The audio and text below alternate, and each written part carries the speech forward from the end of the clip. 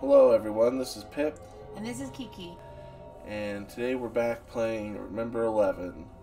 Now, where we left off last time, the main girl character, Kokoro, had just woken up after the plane crash, but she was in the main guy's body for some reason. So, let's find out why. Yeah, that'd be pretty scary. Yep, that would be really weird. To me, who had lost all sense of time, the dream felt like it lasted forever, or was it just for a moment? There was no light. I couldn't see anything. I could only hear a pleasant, steady pulse, like an unborn child floating in the amniotic fluid, wrapped up in a calming and safe warmth. It felt as if all my sins had been forgiven. All the anxiety and horror within me melted and slowly diffused with into the amniotic fluid, disappearing without a trace. I let my body go with the flow as I drowned in the ever present warmth and lost myself in ecstasy. Here it felt like I was the only absolute and all powerful existence. I was at the center of the universe. I didn't want to think about anything else anymore.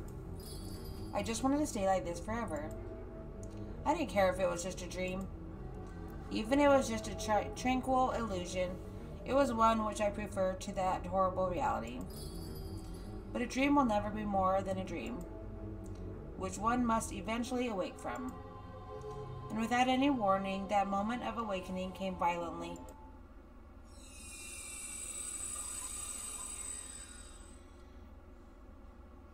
I was forcibly dragged back into reality, bursting out of the empty space. Without enough time to give even a baby's first cry, I was born into a new world. Where is this? In front of me was a small square glass window. The open palm of my right hand was pressed tight against the glass. I lowered my palm from the window. A palm print remained clearly visible on its cloudy white surface. I wiped it off with my sleeve, and a familiar image appeared.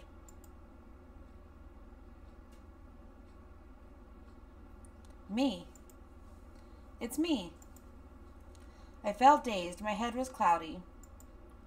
However, I could clearly understand that the image reflected in that window pane was my own. It's the same face I've had for 20 years now. There's no way I could be mistaken.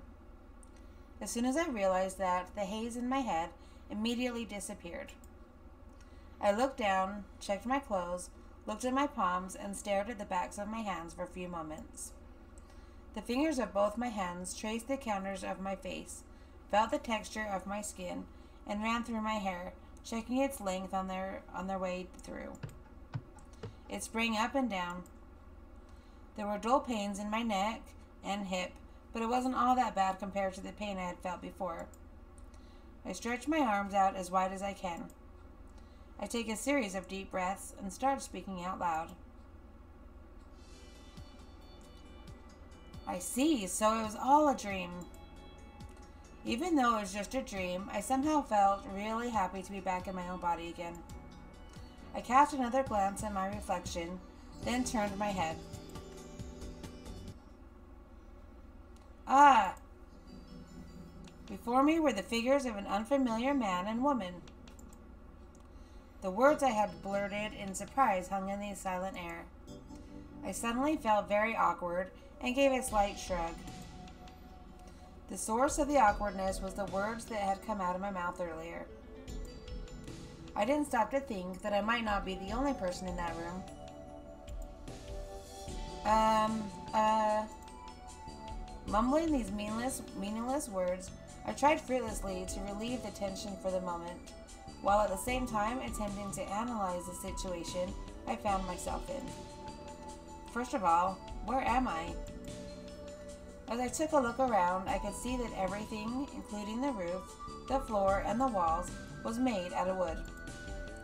From where I stood, I could see a double bunk bed to the right and a doorway to the left.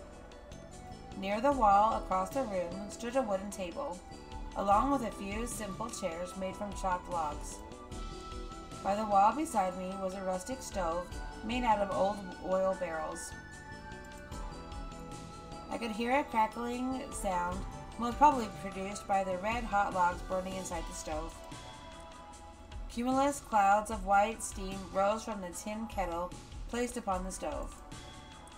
Considering how large the double bunk was, the double bunk bed was, the floor of the room would have probably fit 12 tatami mats. It may have actually been one tatami larger, but the window embedded in the wall was so tiny it made the room feel rather cramped. A mountain hut? I couldn't think of any other possibilities. I looked out the window to make sure. There was only the featureless, depthless darkness spread out as far as the eye could see. There wasn't anything that could provide me with a clue. It wasn't that I couldn't see anything. Snow.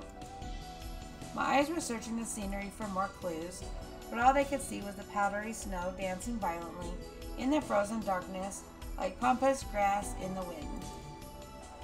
Crystals of ice decorated the edges of the window. These scant clues didn't give me any idea of where we were, but this was definitely no southern island paradise. Then it hit me. The cold. And it wasn't just your average cold. My body was freezing to its core, enough to make me want to hug the barrel stove beside me. Hey, what's wrong? The voice made me turn around. The man looked worried as he watched over me. You alright? I'm alright wasn't something I could honestly say. Being suddenly seized by this freezing cold, with two completely unfamiliar people in front of me. Just who were these people? The man in front of me wore a hooded jacket. His short trimmed hair had casually fallen into disorder. There was a sparse amount of stubble growing around his mouth and chin, and his prominent cheekbones gave him a dauntless appearance. His body was in good shape. His figure was trim. That being said, by no means was he thin. The muscles on his shoulders and chest were toned to the degree that their counters were visible through his clothes.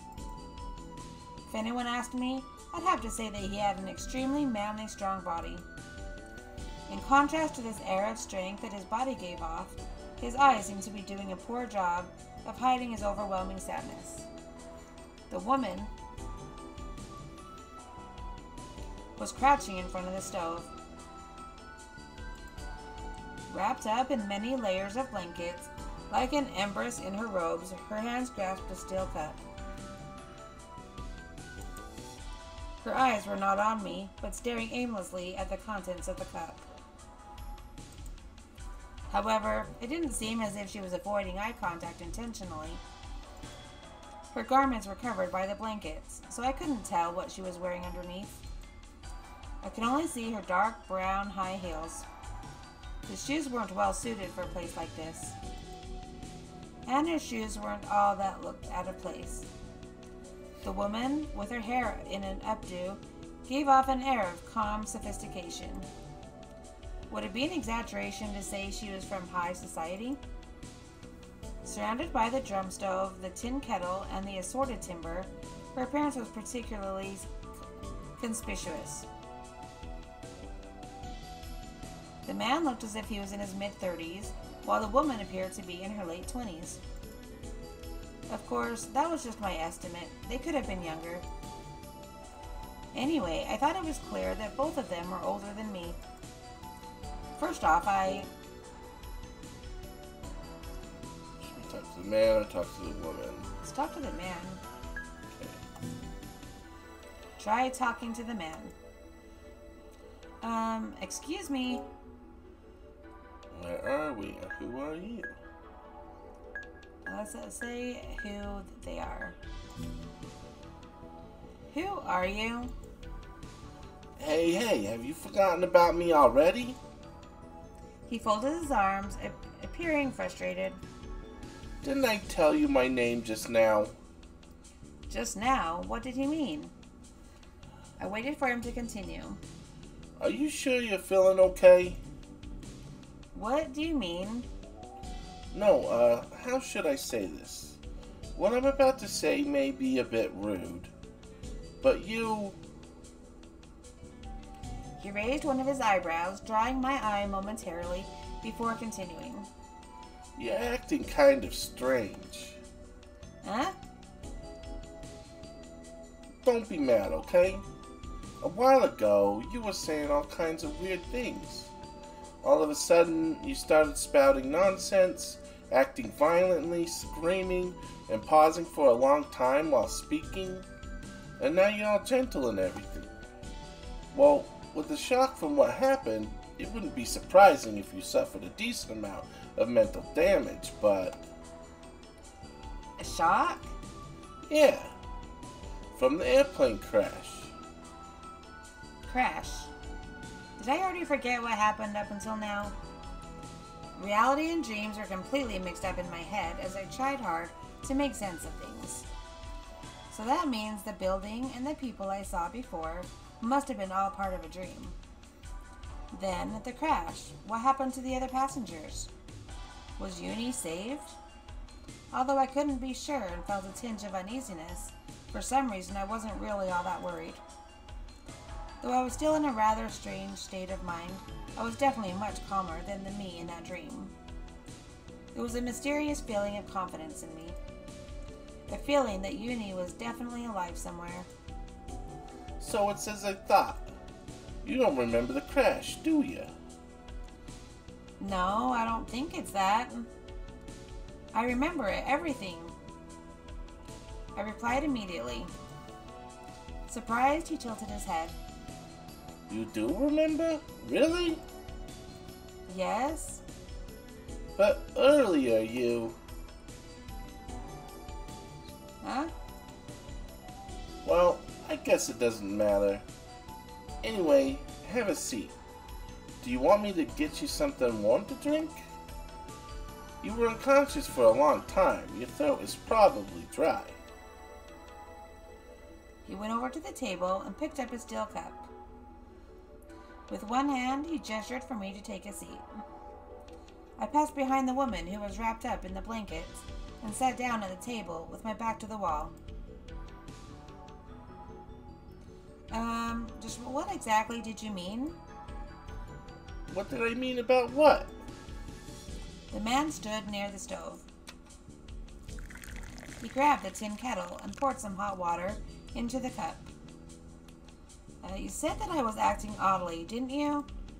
Yeah, I said that. It's the truth, after all. That's not quite what I mean. I'd like to know if there was any reason for it.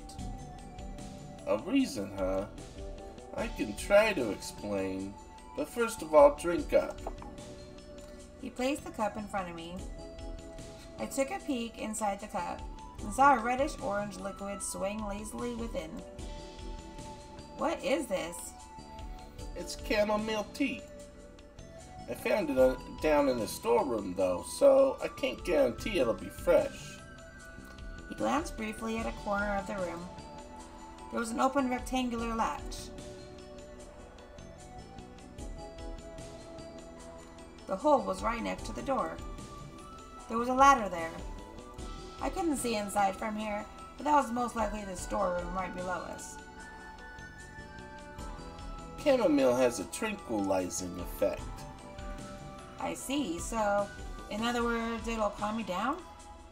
Well, something like that. I wasn't particularly agitated or excited at anything, but it was true that my throat was dry, so there was no reason to refuse the offer. Just as I had suggest as he had suggested, I brought the cup to my lips. Hot, hot, hot, hot, hot. But uh, it's kind of good. A refreshingly gentle aroma similar to that of a green apple tickled my nose. The hot liquid made its way down my throat, gently warming me to the core of my body. I'm alive again would be the impress- expression that described the way I felt best. That's good. Hmm? That smile of yours. It's the first time I've seen you smile. Now that he mentioned it, my face did feel like it was smiling. It was a little embarrassing. The steam rising from the cup slipped into my nose as I started talking. I'm sorry, but can I ask you one more question? Your name? You said you had just told me a while ago, but.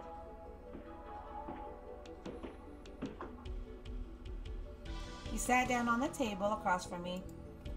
His mouth was open and he was laughing. Just what is so funny exactly? I didn't quite understand why he was laughing, but I didn't really mind it, as his laugh didn't seem the least bit ill intentioned. I guess it's no surprise, all things considered. It's actually pretty amazing that we're having somewhat of a normal conversation like this. From his jacket pocket, he took out a creased and crumpled pack of cigarettes, along with a silver lighter. He tapped a cigarette out of the pack and placed it in his mouth. He handed the lighter incredibly naturally, snapping it open with ease. After the crisp metallic sound faded, a red flame softly flickered into being, carrying the flame close to the tip of the cigarette. Phew. He exhaled in a puff of purple smoke. Yamagi Seiji. Nice to meet you. He placed the cigarette in his left hand and extended the other to me in greeting.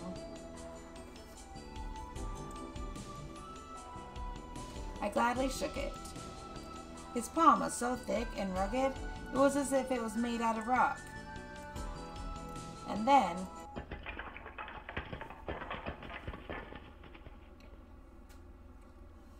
suddenly, a loud noise.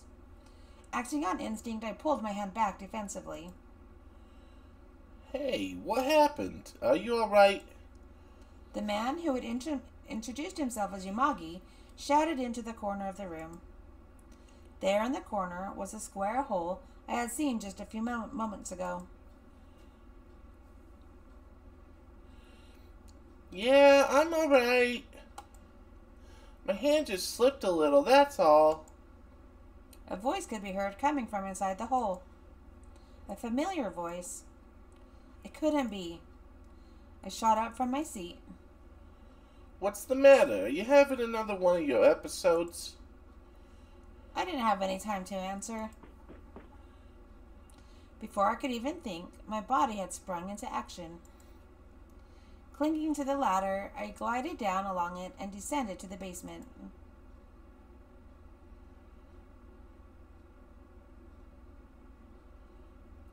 Yuni! My premonition had been right, as I'd thought Yuni was alive. He looked at me vacantly. Dozens of logs for the stove were scattered at his feet. What's wrong? He asked with a surprisingly calm face. I, sl- I slowly moved toward him. I stopped in front of him. Standing stiff as a rod, he looked up at me. Kokoron? Are you Kokoron? His pupils widened as he blinked, muttering those words. Yuni? You remembered me? Of course I do. There's no way I could ever forget. Filled with joy, I embraced him tightly without a second thought. Wait, Huh? they might break like this. Saying that, Yuni slowly removed his glasses. He placed his glasses on the shelf and then, Kokoron! suddenly, with a voice as lovely as a girl's, he leaped into my arms. I missed you. I missed you so much, Kokoron. Yuni aimlessly groped at my back. He rubbed his face against me, snuffling like a spoiled child. I cradled him closely in return. With all the strength in my arms, I squeezed him tighter and tighter. This is the second time I've been reunited with this boy. But unlike the Yuni from my dream, this one wasn't cold hearted at all. Yuni had recognized me as myself. He greeted me as myself and confirmed me as myself. Just that was enough to make me feel very happy. Kokoron! I have something that I need to say! What is it? Thank you for saving me. Aw, you don't have to thank me. I didn't do anything at all. Yes, I couldn't do anything at that time. I had only fastened his seatbelt and taken his hand in mine. If there was anyone to thank for our rescue, it could only be God. Rather than fate, it seemed more appropriate to call this a miracle from God. But still, thank you. I clung to Yuni's body as though I'd never let him go. I put his head under my nose and filled my lungs with his scent. We're alive. The smell of his hair, the burning warmth of his skin. Alive, alive. Over and over again, I repeated it in my mind. I trembled in joy as I stood at, as, as I stood witness to this miracle. After a while, I realized that my cheeks were wet.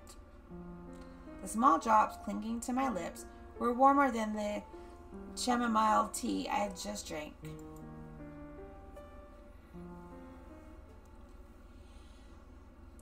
We stayed in our embryos for quite a while, long enough to lo- lose track of time.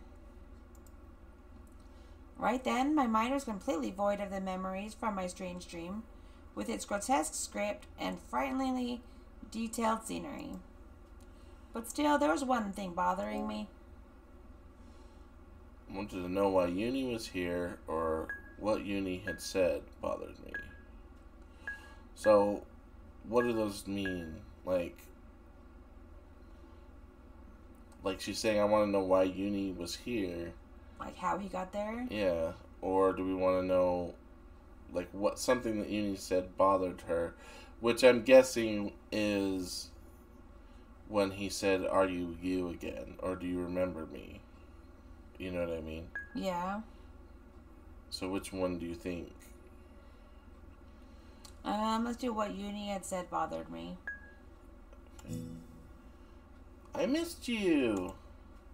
I missed you, Kokoron. The words that had come from Yuni's lips. It was as though something felt out of place.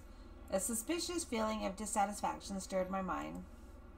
But even so, something as trifling as that didn't matter, matter much now. With the end of the hug nowhere in sight, the little doubt that had sprouted in the corner of my mind slowly faded away. I had forgotten everything, becoming intoxicated with his warmth as I continue to soak in the happiness of our reunion.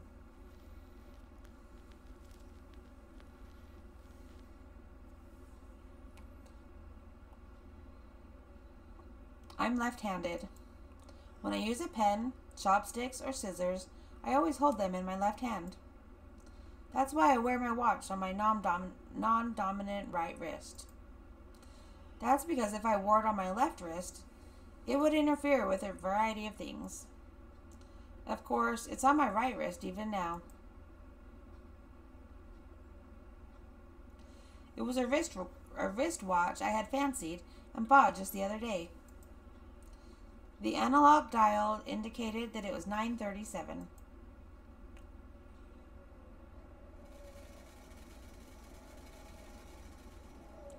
The inside of the room was enveloped by the sad cry of the wind wailing outside. Other than that, besides the lid of the kettle rattling, not a sound could be heard. Not a single person opened their mouth. The heavy silence persisted. The cup placed in front of me was already empty. The chamomile, chamomile tea had truly warmed my body and calmed my heart. You don't pronounce the H. Oh, This is chamomile. Chamomile? Okay, I'm sorry. Just letting you know. I'd also gotten used to the feeling of sitting on hard wooden logs. I put my back up against the wall and observed the others. Yuni was sitting on the bunk bed, dangling his legs. His face showed boredom, but even like this, he was far more energetic than the Yuni from my dream.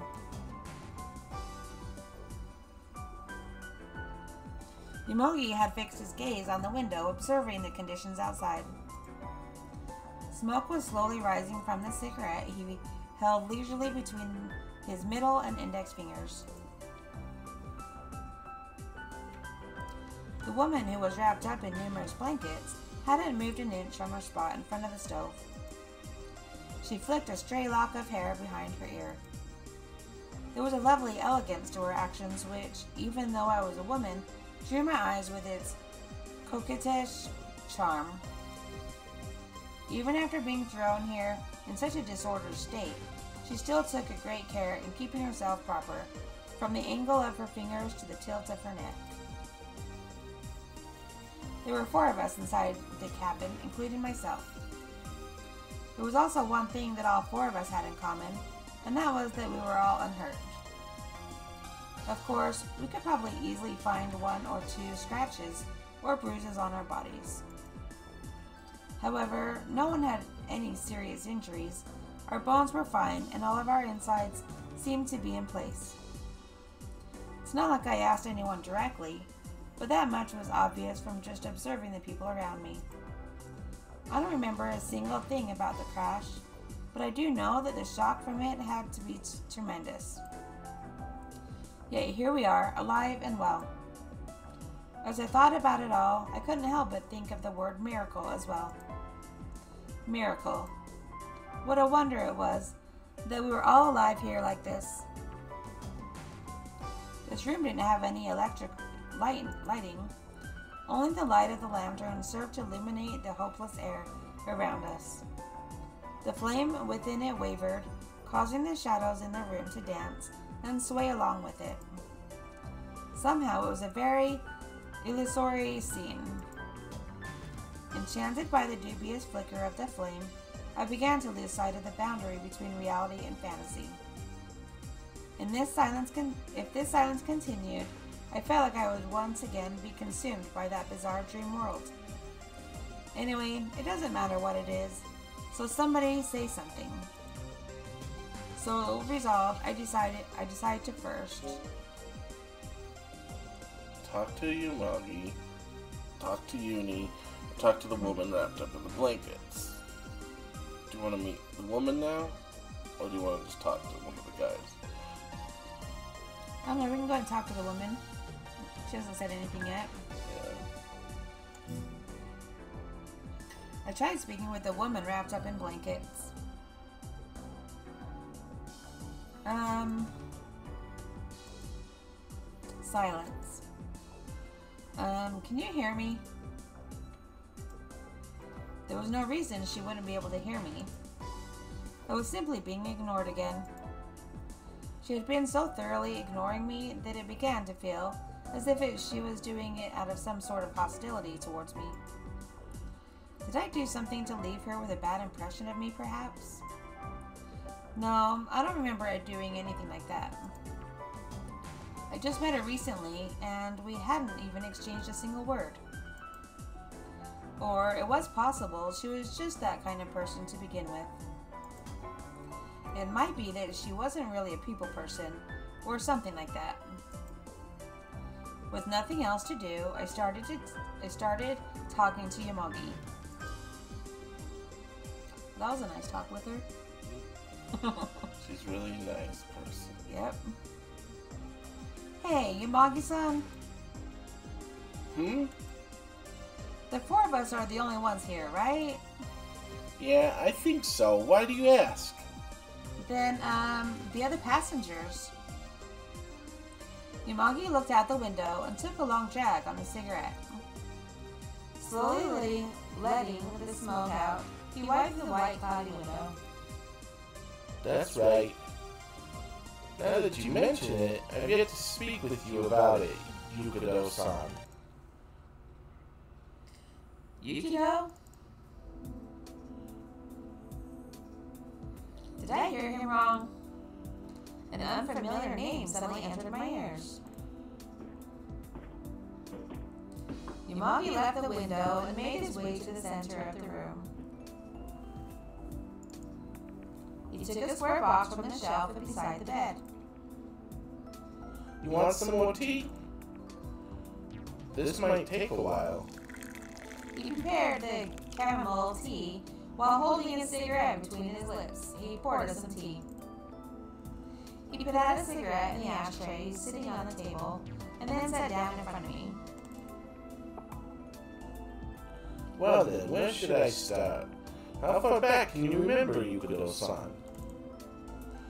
I'm pretty sure I can recall you saying, I remember everything about the crash.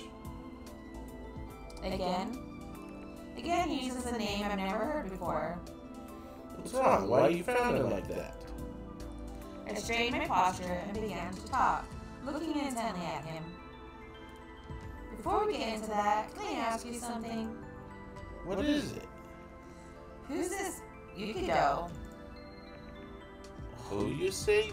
But that's your name. I was astonished. Sighing deeply, I could feel myself starting to shake. Why? Why were things like this happening one after another? I can't exactly say why I was angry, but there was no way I was just be just going to bite my tongue. I raised my voice in protest. My name is is Fuyukawa Kokoro, okay? Really, I wonder how many times I'd have to repeat myself like this. I'm tired of it already. Although the other times I said that phrase had been inside the dream. Eh? Fuyukawa Kokoro? That's right, Fuyukawa Kokoro. Should I show you my student ID card? Or would my driver's license please you better? For that matter, how about we go down to the local ward office right now so you can see an official copy of my family registry? N- no, sorry. It seems I've somehow made you angry. But originally, the one who brought up the name Yukidoh was you, so. Yomogi hesitated to speak. His gaze wavered around the room as he rubbed the stubble on his chin. Well, whatever. It's probably true if you say so. Not probably, it is true. Fine, fine, I got it already. Your name is Fuyukawa Kokoro, right? Yes? I clearly asserted. And then. Wait. Just wait a second. The woman, who had presently preserved her silence until now, finally opens her mouth. Throwing off her blankets, she delicately stands up and walks purposefully toward me.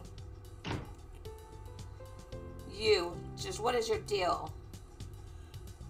She slams both of her hands on the table. Bending forward, she brings her face up to mine. Her entire body gives off a ghastly aura, filling me with dread. My name is Fuyukawa Kokoro. And why did you say it was Yukidoh before?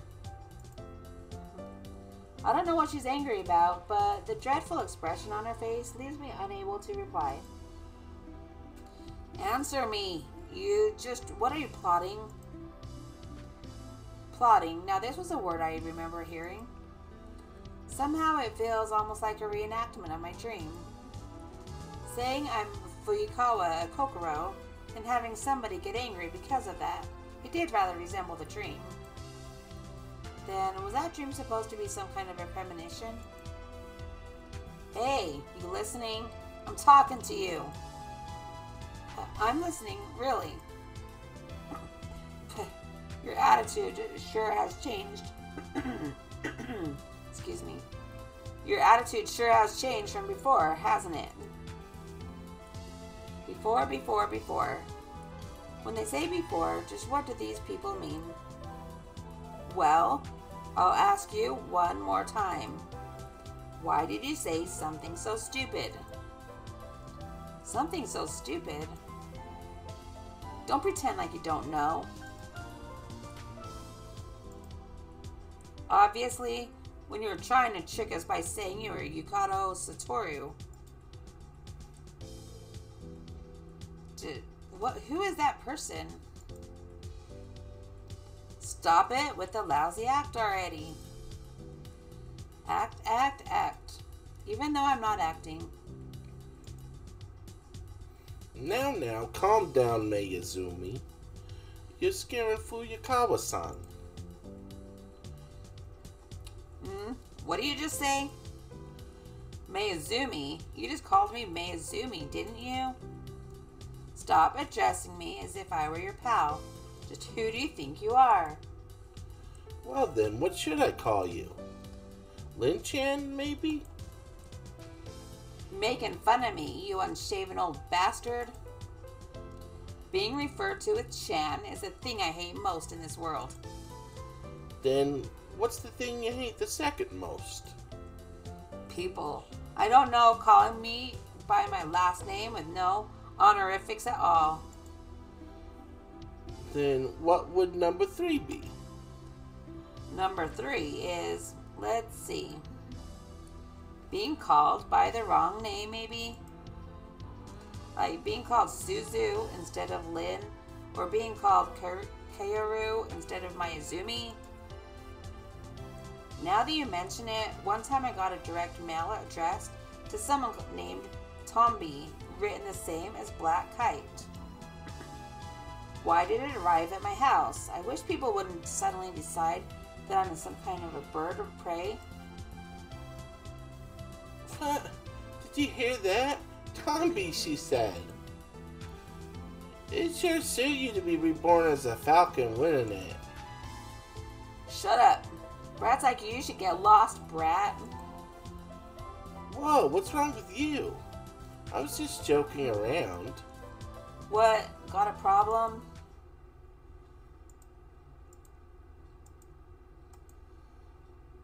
Ha! This is why grannies are trouble.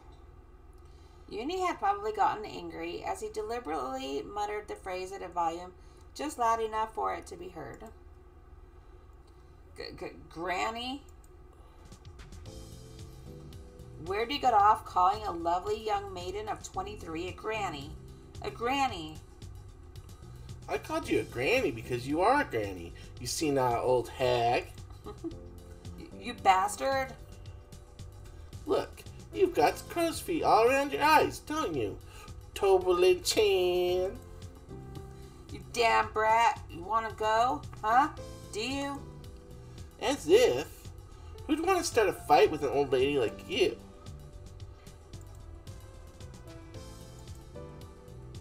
Uh, uh, now you've done it. I wonder if I should just roll you up in a mat and throw you outside. Try it if you can, you permission gobbling old hag. You've got it, you four eyed sea anemone. Come on, cut it out, you two. Yomogi, sick of watching their back and forth, decided to interfere and push the two apart. You haven't forgotten where we are, have you? What are you gonna do if you waste all your strength on a pointless squabble like this? But. No buts. If you carry on with this nonsense, you'll be sleeping in the storeroom. Are we clear? Yomogi lectured them in a surprisingly dignified tone. The two exchanged sharp glares, but restrained themselves from taking any further actions. Even those two couldn't do anything with Yomogi standing like a mountain between them. Neither really backing down, Yuni and the woman both looked away and returned to their respective territories. Huh, really now? Yomogi sighed as he placed his hand on his hip. Before we knew it, he had lost track of our conversation, and the target of the woman's anger had completely changed. I was certainly glad to have gotten out of further questioning, but. Anyway, I was able to at least establish the woman's name Mayuzumi Lin like a cat about to flee after a, fly, a fight, she opened her mouth to let out a last parting complaint.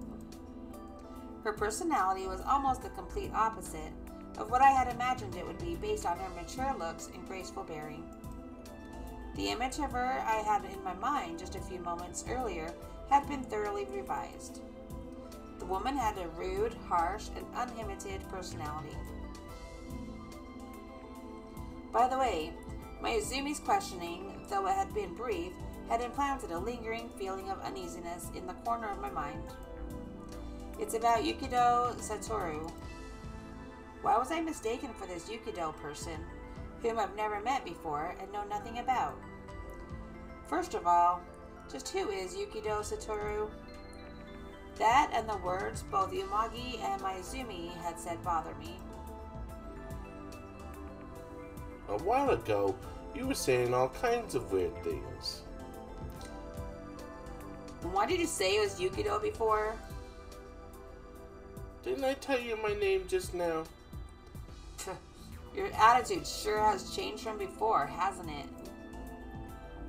Before. Replaying it all in my head, I finally arrived at an answer. Based on what they had said, only one conclusion could be reached. No, something like that just wasn't possible. I denied my own thoughts immediately. It was something that I couldn't believe, that I didn't want to believe. The conclusion I had reached was simply too unreal to accept. That's why I turned away from it. I didn't want to think about it any further. I am me, Fuyukawa Kokoro. I'm no one else but me. Struggling to suppress my wild thoughts, I tried to convince myself of this.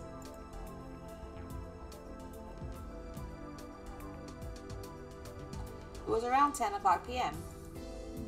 A large heap of blankets in the hand, Mayuzumi climbed up onto the top bunk. Now there was a woman lying with her back towards us in more than ways than one.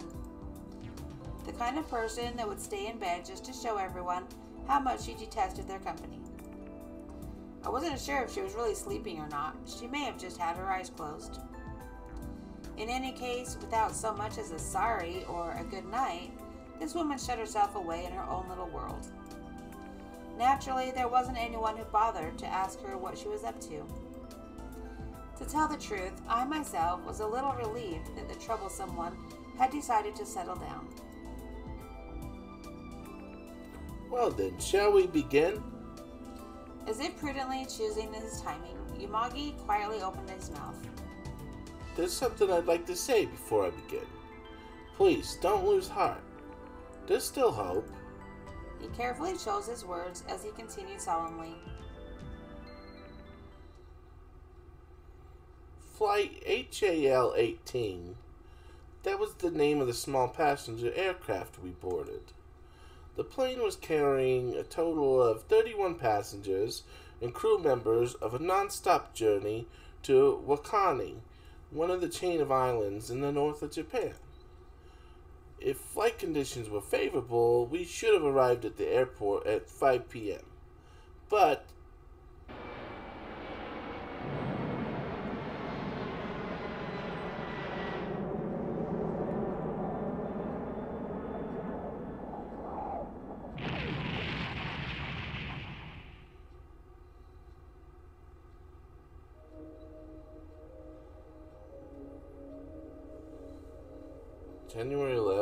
2011, 4:08 p.m. Flight HAL 18 crashed deep in the snowy mountains.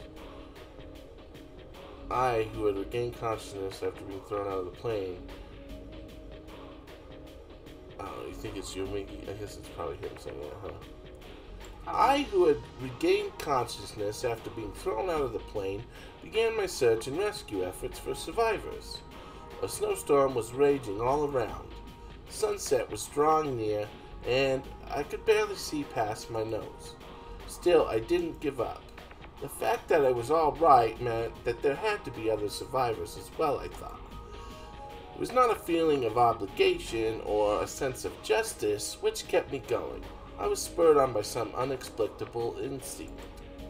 Before long, I found two women among the scattered rubble Mayuzumi Lin and you. Having lost consciousness from the shock of the crash, you were lying beneath the caved in ceiling, your head hanging limp. Even when I shook you by the shoulders and slapped your cheek, you showed no sign of coming to.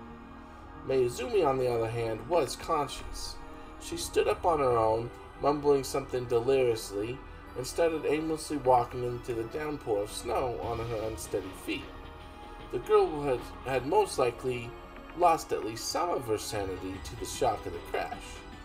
Even when I called for her to stop, my voice didn't seem to reach her ears. Somehow, I was able to catch her, and my very next thought was that I should find some shelter from the wind. What I found was a section of the airframe, severed at the front and back. The outer wall burned black, unshapely, exposed framework. It resembled the decaying corpse of a monster. Pulling Mayuzumi by the hand and carrying you over my shoulder, I entered the carcass, seeking ref- refuge. Inside, a foul stench filled the air. I suddenly realized that the smell was that of burning meat. so yummy. There were chunks of charred flesh stuck firmly to the seats, which had been fixed to the floor. Dead bodies were still seated with their heads against the back of the seats in front of them. Some of the bodies were missing everything from the seatbelt down. there were bloodstains, scraps of flesh, and entrails splattered against the window. There was one corpse that seemed comparatively unharmed, but it stayed motionless, frozen solid like a plaster sculpture. The only word that could describe the disastrous scene was hell. Having taken it all in, Mayuzumi looked absent-minded and dazed. You were still unconscious, so you didn't react at all. However, a single sigh escaped your lips, which made me believe you'd surely get better with time. Your body temperature, however, was nearly that of a corpse. That made sense.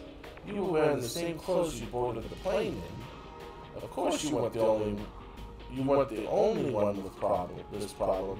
Mayuzumi was the same.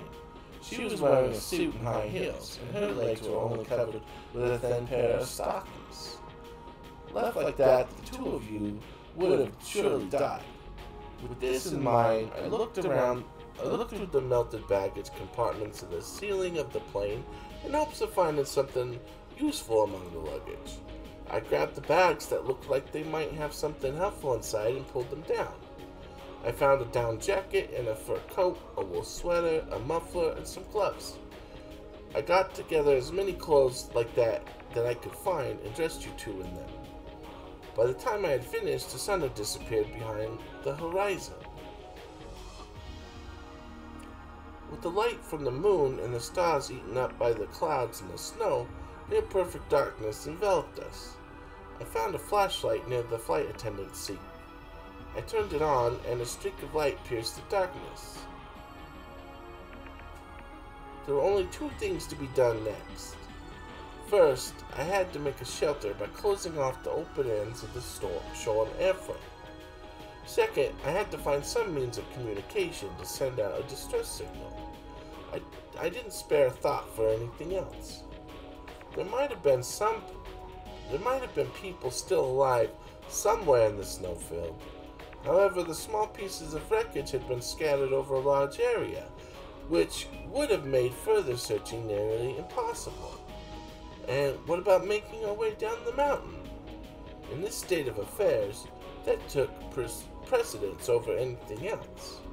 As a mountaineer, I knew how terrifying and treacherous the snowy mountains could be. To start marching randomly inside a snowstorm is reckless at best. I didn't have a clue as to where we were. I didn't even know which way it was to the base, so I couldn't even think about descending the mountain. Our options were very limited. We spent all night in bivouac, with nothing else to do but wait for the weather conditions to improve. If they got better, a military or a rescue helicopter would have no trouble finding. Of course, that'd be pointless if the three of us lost our lives before they arrived. That's why, to live, that was the highest priority for us. I immediately got to work. I used the gathered luggage and blankets and such to stuff up the gaping holes in the airframe. The day had come to an end and the temperature started falling. It felt like it'd soon get so cold that your breathing would freeze instantly. I had lost all feeling in my fingers, yet I continued working silently. However, as I was covering up one of the holes, I noticed something. Mayuzumi was gone. No matter where I looked, she was nowhere to be seen. I rushed outside. Thick snowflakes began to fall and cling to me in layers, as if they had been eagerly waiting for the chance. I bent double to avoid this attack, pulling my hood close over my eyes, and began searching in the darkness. The piled up snow beneath my feet was immeasurably deep, but thanks to that, I could see the trail broken by Mayuzumi's rustling through. With the torch in hand, I turned to find more traces. I could barely see a thing. In the middle of a snowstorm at night, the light of a pocket flashlight was almost useless. And if I tried calling out at the top of my lungs, the roaring of the wind would effortlessly drown out my voice. I couldn't waste another moment if I wanted to find her, as the traces that she had left behind were quickly being filled with snow. I jumped into the snow. My body began to move without a second thought. I pushed on, parting the fallen snow before me. Blinded by a myriad of snowflakes, I single-mindedly continued to pursue her trail. After marching on for about ten minutes, I finally caught a glimpse of her. She had collapsed face down in the middle of a large snowfield. I had no idea why she would do something so foolish. Losing her cool and giving in to the panic, she may have thought, it doesn't matter where I go, I just need to get away. Anyway, she had made her way here and probably collapsed from exhaustion. I brought her ear close to my mouth, closer to her mouth. I could hear her breathing just barely. I quickly put her on my back and started making my way along the path I had made coming here. Even if it was only the body of a single white woman, trying to rustle through while carrying a person on my back was unthinkably difficult. Our path was hindered by the now hip deep snow. It had become virtually impossible to take another step forward. And when we stood still, the snow blowing up at us from the ground was mercilessly robbing us of our body heat. My limbs had become completely numb. My fingertips, if I could feel them, would probably feel like pieces of thick, solid wire. We pushed on and on, but the surrounding landscape didn't show any signs of change. No matter where we went, the darkness spread endlessly through the space around us like a curse. Before long, I lost sight of the path. The markers I had left behind had become buried by the snow and were indiscernible. My legs had become completely stuck. I couldn't take a single step further. So this is it. I knelt down in the snow. I knew that this would happen from the moment I set out. If you walk out into a snowstorm, then it's only natural for you to lose your way. But even then, I never once thought of turning back. Why is that? It might have been that bringing back Mayuzumi was just an excuse, when in reality, I wanted to meet my aunt here. It's too late. Too late. No matter where I looked, the desolate, barren plain was dyed the color of death. This world, ruled by despair and emptiness, was rejecting my life, and the act of breathing was regarded by it as a sin. The sharp pain running through my entire body was a sure testament to that. With Mayuzumi still on my back, I collapsed in the middle of the snowfield. Sorry for the long wait. Now I can finally join you. Dad, Dad. Right then, I thought I heard a voice. A voice I'd heard so often, but now thought I'd never hear again. Dad, Dad. I knew it had to be an illusion. Faced with death, my consciousness was breaking down. It felt like it was a voice of a spirit come to haunt me. However, I couldn't help but try to confirm it. Having gathered the remainder of my strength, I strained my throat and raised my nearly frozen body to its unsteady feet. Junichi? Junichi, is that you? Dad, here, here. There's a mountain cave cabin here. I found it.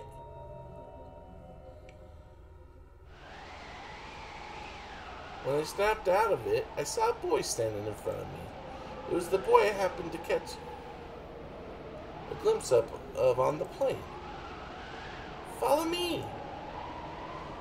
Saying this, the boy started walking.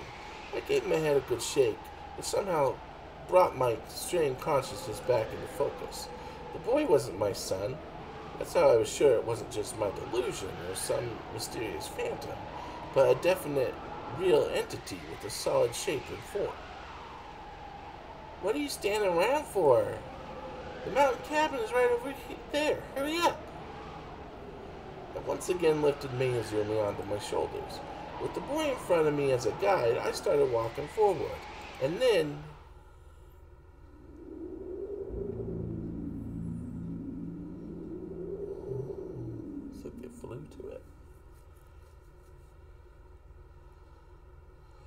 7:16 p.m. Three hours after the crash, we had finally reached this mountain cabin. It goes without saying that the boy who guided us, as, us here was Yuni. If Yuni hadn't come then, right about now, Mayuzumi, and I would probably be peacefully enjoying our final sleep under that snow. You could certainly say that Yuni was our savior. It's unfortunate that Mayuzumi, being unconscious at the time, still doesn't seem to understand this. So, that's pretty much everything that happened up until now. Did you get all that? With those words, Yomogi tried to finish off his long speech. But. Wait a second. Hmm? What about me? What happened to me after you left me there? Wanting to tie up all the loose ends, I asked him again. Yomogi smiled ever so slightly. Of course, we went back for you. Yuni gave me a hand as well. We brought you back here from the shorn open airframe. Honestly speaking, it wasn't easy. It may seem pretty energetic. I may seem pretty energetic now, but back then, I was on the verge of collapsing myself. But then, how did you find the hole? You said you got lost, didn't you? Yuni knew the way. Yuni did? I turned toward Yuni. Behind Yomogi, Yuni was sitting in the spot where Mayuzumi had been camped out until shortly before. As his back is to me, I can't see his face. I didn't know whether or not he'd been listening to our conversation earlier. How did Yuni know where the airframe was? He had a compass on him. A compass? As in the magnet that you use to tell direction? Yeah. Yuni, who had been thrown out of the plane, had immediately started walking in a straight line away from the crash site using his compass. I think it was a sound judgment, all things considered, seeing as how there was no place that would have sheltered him from the wind, and it wasn't a situation where help would arrive if he stayed still and waited. That's why he began walking. Of course, he didn't just wander around, probably confirming the position of his destination and the number of steps, he started walking in the snowstorm. If he had found nothing in the direction he was headed, heading, he could simply go back to where he started. He sure is something. His judgment isn't like that of an 11 year old old's at all. Yuni showed an, an admirable composure, even more than that of a seasoned mountaineer like me. A weird feeling of suspicion, perhaps, started welling up inside me. I find myself I found myself unable to blindly admire Yuni's efforts. Things like Yuni conveniently having a compass and not losing his cool after the shock of the crash. If you put it all together, you couldn't help but think there was something unusual going on. Well, anyway, sitting around like that, Yuni co- coincidentally discovered this shelter cabin. What's important is that he remembered the direction that he walked in, along with the number of steps he took to arrive here. And that's why we. You were able to find the crash site where I'd been left behind. Is that it? Is something bothering you? No, not really. I said that, but in reality, innumerable things were still bothering me. In today's conversation, Nobody had mentioned even once how Yuni had managed to find Yomogi and Mayuzumi. Moreover, even if it were possible for Yuni to return to his own starting point, that didn't necessarily mean that I was easy to find again amongst the snow. Looking at the probability of all these occurrences, it seems like even the word miracle would be an understatement to describe all that had happened. It felt like a work of some invisible power, like we might have been led to this cabin inevitably. An invisible power. What it could be, I have no idea. I see.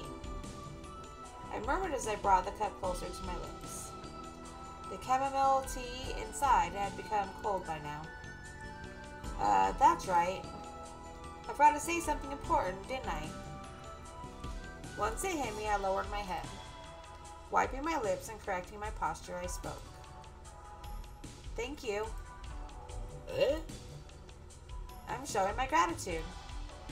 Thank you very much for saving me. Hey, cut it out. I'm no good with heartfelt thanks and stuff.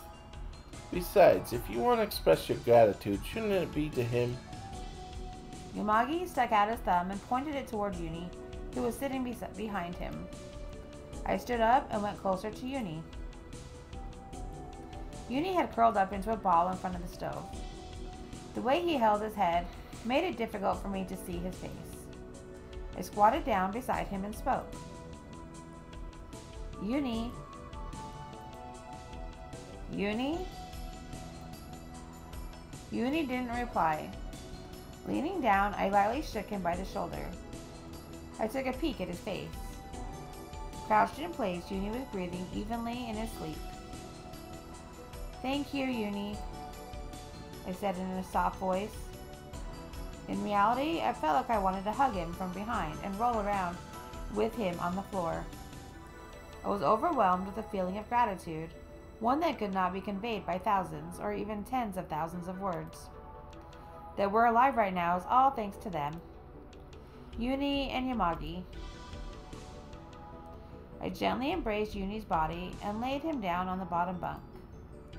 I placed several blankets on top of him, and then a few more for a good measure. Yuni tossed a bit in his sleep as he mumbled something. I quietly removed his glasses. Now then. Holding Yuni's glasses in my hand, I wander aimlessly around the cabin. The emotions welling up inside me, seeking an outlet, are driving me to walk around in circles. This is a passionate feeling of gratitude, and I need to convey it some, to someone somehow. But who? Well, of course. Yomogi-san? With an almost indecent cry, I jumped onto Yomogi's back without warning. Ah! Our limbs entangling, we tumbled, rolling around on the floor. Yomogi-san! Yomogi-san! Hey, come on, what's gotten into you? Stop it, Fuyukawa. Stop it, stop, please. Come on, stop. I won't stop, I won't stop. Just what are you trying to do? What got into you? What? What is the meaning of this? There is no meaning. I'm just expressing my feelings. Expressing your feelings? Hey now, don't be hasty, Fuyukawa. We're not in that kind of relationship yet, you know? Even tough guys like me can't take this kind of wear and tear. Oh, cut it out. Roll, roll, roll, roll. Hug, hug, hug, hug. My expression and my feelings continued for a while afterward.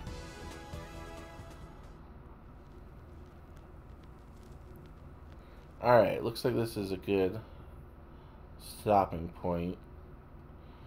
Yeah, he was a nice guy to save him. Yeah, but it was really weird.